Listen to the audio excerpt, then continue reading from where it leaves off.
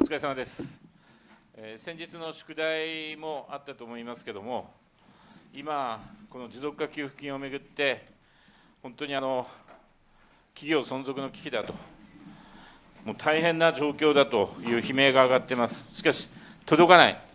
そしてこれを受けたところはですね、えー社団法人サービスデザイン協議会というところですが、朝視察をさせていただいたら、呼び鈴もなければ、電話もない、60番というその内線にかけてくれと書いてあったけど、かけても出ないと、769億ものお金をですね、こういうところがやってると、これ、犯罪に近いものじゃないですか、怒りに震えました、これ、何ですか、理事長は給付事業をやったということを知らなかったとおっしゃっている、なぜですか、なぜ知らないんですか？今朝の決算行政決算委員会では、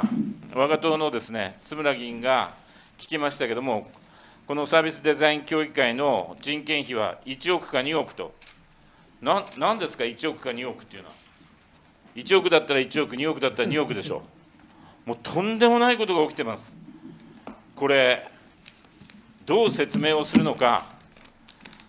こういうなんか天下りまがいのものがいろんなところにあるんじゃないかという疑いを持ちます。あの予算委員会の筆頭理事です。あの私たち一次予算、それから本予算にも協力しました。だからこの予算がどう使われているかっていうのを知る国民の権利を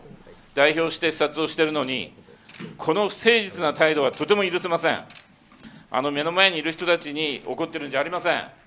このむちゃくちゃなことをやっていることをちゃんと説明してほしいと思っています。